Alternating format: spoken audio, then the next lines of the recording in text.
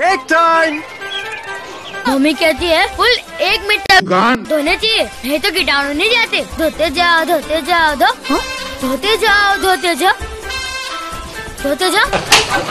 आप क्रोनोलॉजी समझ लीजिए।